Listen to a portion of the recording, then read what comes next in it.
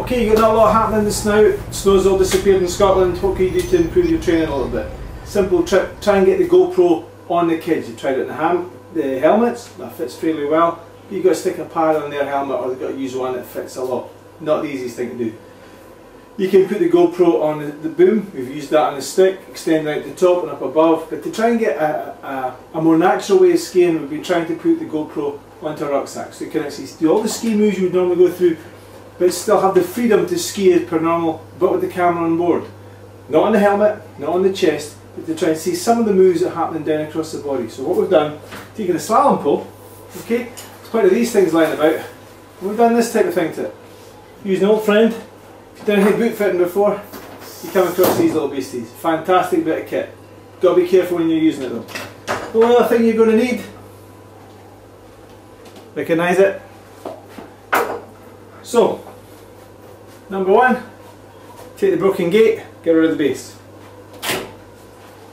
Look after the screws.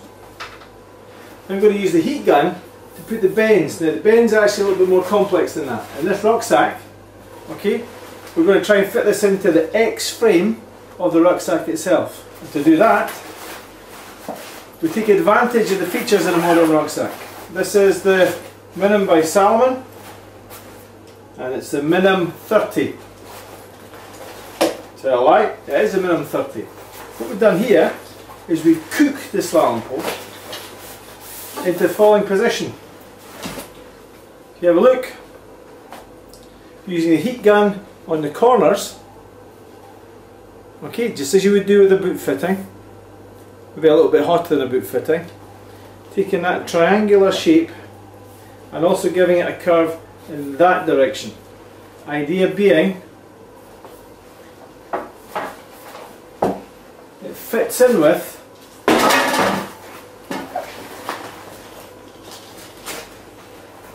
the X frame within the rucksack. The idea is we're going to put the, the, this X frame across the way within the rucksack, but taking advantage of a very simple little design feature, which is this small drink hole in the corner for a CamelBak. Always wear your helmet in the kitchen.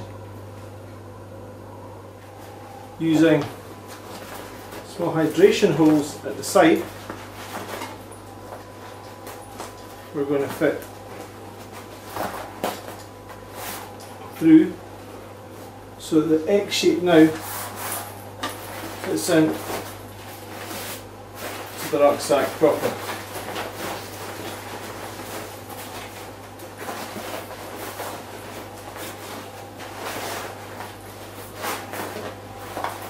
It's now fitting in an X-ray in the rucksack.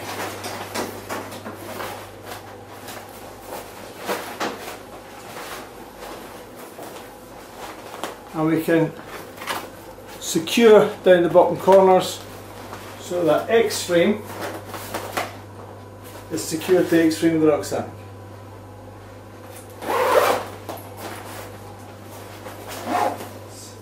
You can bend this to suit yourself. The idea is it's going to be wide enough to clear the helmet area. Okay, we've done it with two different slalom poles. This one and this one here. This one's got the GoPro mounted on it. Ends of the poles, the slalom pole would normally look like so. But what we've done here is to take a wooden sphere, add a little bit more protection. You could use a ball of some sort on the end. In the skiing position, this could be pointing directly forward, so to minimise any impact damage, the ball on the end. This is an earlier model, the slightly shorter rucksack, which gave good position, but had a little bit too much movement. So we've gone for the longer rucksack with a longer back, so the ski movement forward, we had a longer contact across the back. Positions can be low and over the shoulder, going up to higher and coming forward, so looking down across the skier. I'll try and show you some shots of that. Have a go, be safe when you're doing it, and uh, learn if anybody else is doing it, stick it online. It seems to work, seems to give you a unique, unique hands-free skiing video. Without the head, without the chest, gives you an alternative mount. Can be used forward, anywhere along that. So simply using the handlebar mount, you can slacken off, move along the tube, relock,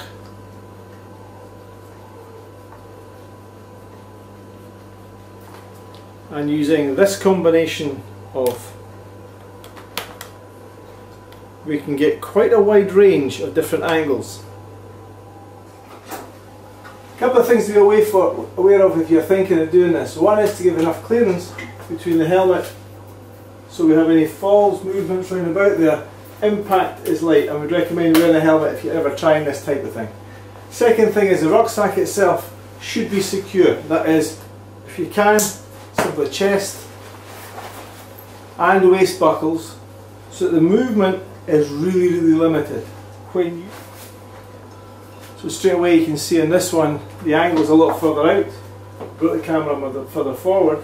And the angle of the camera in this one gives us a chance to film directly down so we can see what's happening in the front area when you're skiing okay? That can be moved round. And because we've got the mounts we can also change the angles that we're looking at. So we get some fairly detailed four. You see position here. The camera's going to get views in the front.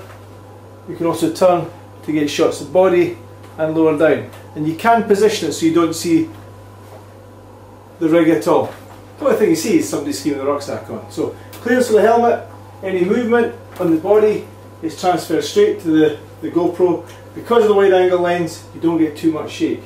So at the moment we've got two models under trial. If you fancy giving it a go, very simple. It's a rucksack, X-frame rucksack. We've used the Minims from Salomon, the slalom pole.